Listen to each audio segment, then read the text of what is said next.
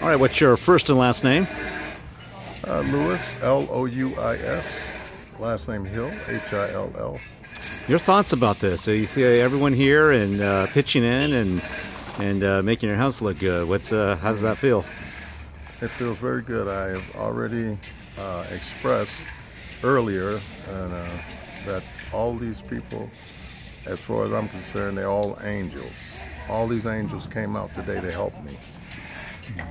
And uh, what do you think so far? It looks like uh, a lot of people here, and uh, uh, your thoughts about what they're doing? Uh, I'm loving it, and uh, it's it's. I mean, it's making my house uh, uh, much improvement, and I'm uh, I'm just loving it. Final question: What does it say about people here in Las Vegas, and and uh, the fact that people are pitching in on a Saturday, Saturday morning, and Saturday afternoon to help you out? What does that say? It's, it says a lot. I wouldn't be, I wouldn't have believed it.